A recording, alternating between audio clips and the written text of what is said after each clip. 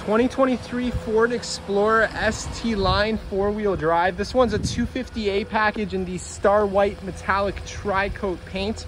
Really sharp looking Explorer. You're rolling on 20 inch machined aluminum alloy wheels, Michelin all season tires, and this one's powered by the 2.3 liter EcoBoost engine. So plenty of power here. You do have your reverse parking sensors, your class four trailer tow hitch, uh, your dual exhaust back here. Of course, it is a power tailgate. You can open and close that from the key fob as well. This one does seat seven. I just have the all-weather floor liners and your carpet mats back here.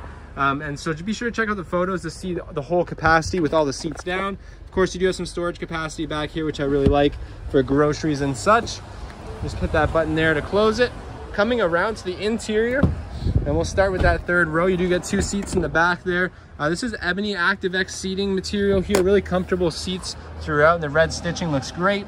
Nice twin panel moonroof, and you do have some cup holders that fold down from the center seats there, um, as well as here. And then you do have some power options and your own climate controls and storage behind the driver and passenger seats. I really like how the climate vents are roof mounted in the back here. It keeps you nice and cool and blows the air in your face right where you want it. Uh, you do have your keyless entry keypad there. Plenty of storage in the driver door here. Power windows and locks, of course. Power glass adjustable mirrors blind spot monitoring. They're heated, of course. They're also power folding. And you do have a really nice B&O audio system in here.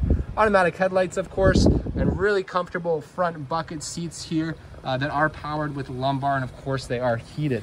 Stepping in this vehicle, you do have a customizable digital display right behind the steering wheel. Really comfortable steering wheel on here, very fun to drive.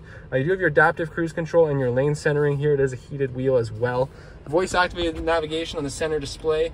There's your reverse and 360 camera here. I do have a little shelf your dual zone climate, and then you also have your heated seat and steering wheel controls here.